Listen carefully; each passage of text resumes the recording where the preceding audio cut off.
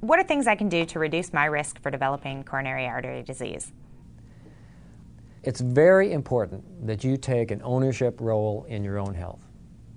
And the things that you do that are really important to keeping your heart healthy and keeping you alive in the long run, first and foremost, exercise every day.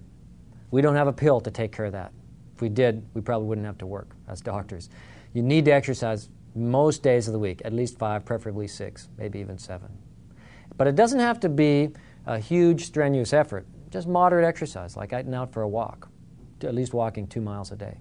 Get a dog, ideally. I tell people, get a dog. Then you feel obligated to get out and walk with your dog, and, uh, and that, that's very important. Secondly, don't smoke. We have, a hard, we have a hard time keeping people healthy if they insist on smoking.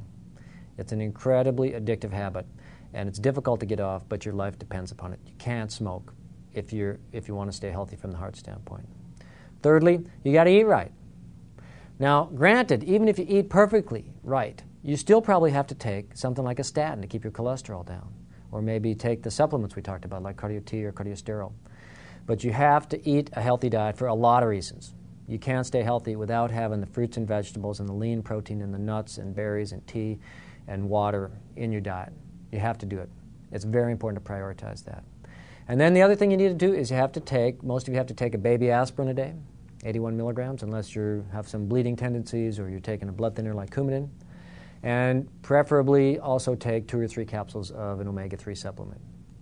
In essence, those are the short list of things that you need to do to really help improve your survival. A couple other sort of optional things we're finding out that one drink a day, up to two drinks a day for men, can help to reduce risk of heart attack and other cardiovascular abnormalities. Uh, red wine is probably best, uh, but as long as it's moderate amount of alcohol, any alcohol is better than none.